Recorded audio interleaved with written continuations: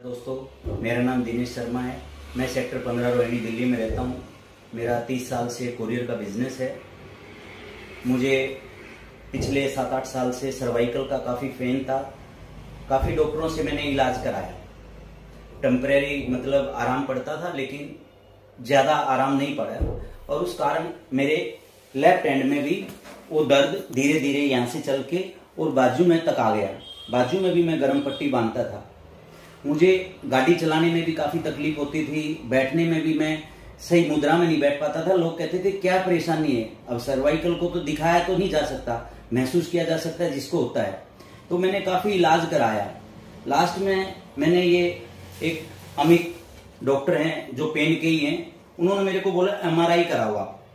तो एमआरआई में मेरे को पीछे की नस दबी हुई, उन्होंने बताया कि नस दबी हुई है, आप इसका इलाज करो।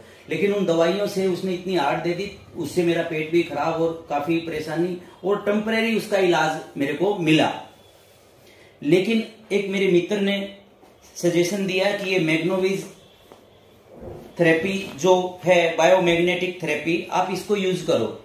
उन्होंने इसको मेरे को विस्तार से समझाया कि ये कैसे काम करेगा।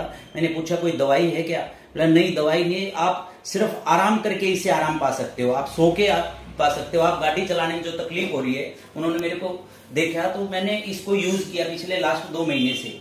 मैं इसको अपने ऑफ़िस में भी यूज़ करता हूँ, इसको लगा के, और मैं इसको फिर लेके चला जाता हूँ अपनी कार में भी, क्योंकि मैं इसको कार की सीट पे भी लगा के मैं बैठता हूँ।